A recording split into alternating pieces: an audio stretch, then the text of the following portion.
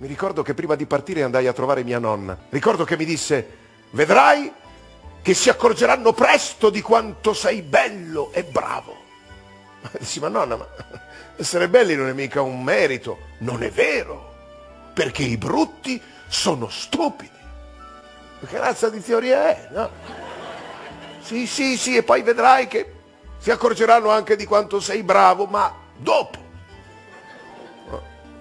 Io invece ho il terrore che si accorgano di quanto non sono bravo, ma subito.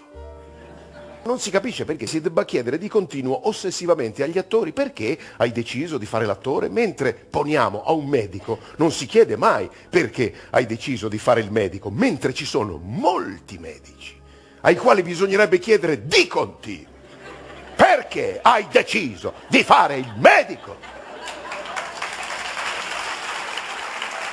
Ma sei matto? E tu la mattina per colazione prendi solo un caffè? Ma dico sì, Alberto, ma sei matto? Ma tu, caro amico mio, ti devi voler bene.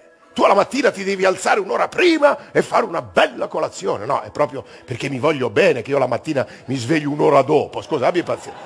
Poi figurati se ho voglia di mettermi lì pane, burro, marmellata. Il burro! Ma sei matto? Il burro! Burro è veleno! Burro! Tu devi ah, fare una bella colazione, ricca di fibre, sali minerali, vitamine, oligoelementi, omega 3, sì vabbè ma anche qualcosa da mangiare, magari di... La parola chiave è rilasso, mi rilasso. Sai perché io, io qui faccio tutto, mi faccio, mi faccio, il vino, mi faccio l'olio, mi faccio il pane, mi faccio la legna, mi faccio l'orto, secondo me ti fai un mazzo così. Eh?